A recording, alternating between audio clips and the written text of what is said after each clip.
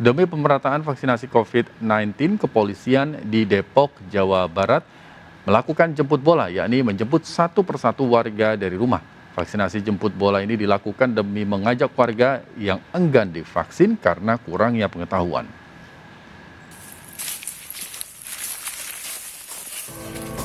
Satu persatu warga yang tinggal di area permukiman kumuh atau selam area di Cimanggis, Depok ini dijemput polisi. Bukan untuk ditangkap, melainkan untuk diajak vaksinasi COVID-19.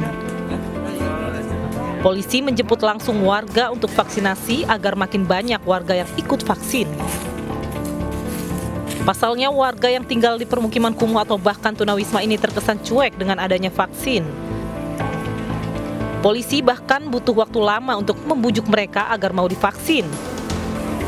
Sejumlah warga yang kesulitan menuju tempat vaksin juga dibantu oleh polisi. Tahunya tadi dari mana sih Pak? Hmm? Tadi dilakukan penjemputan atau emang udah tahu sebelumnya Pak? Ada di sini? Dijemput? Mm -mm. Sebelumnya belum pernah divaksin atau? Belum. Belum ya Pak? Mm. Pak dengan adanya vaksin ini merasa terbantu atau? Ya terbantu juga. Terbantu. Terima kasih deh Pak. -mm.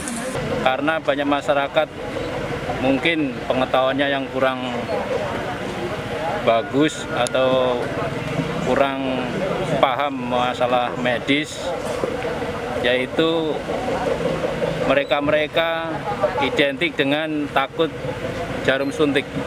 Makanya kita berusaha mencoba mendekati ke wilayah-wilayah mereka agar terkesan tidak menakutkan, menyentuh dengan hati. Dengan sistem jemput bola diharapkan semakin banyak warga yang mau divaksin agar kekebalan kelompok segera terbentuk.